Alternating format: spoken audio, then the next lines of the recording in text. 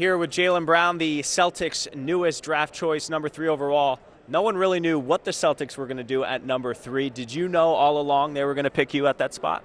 I had no idea. I'm not gonna lie to you.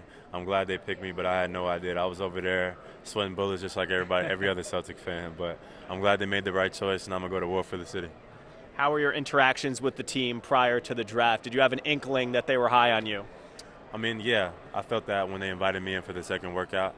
Uh, I knew they had a heavy interest, but I didn't. Things happened. I didn't know what was going to happen. I didn't know if they'd trade the pick or if they would take somebody else. Uh, I wasn't quite sure, but I'm glad.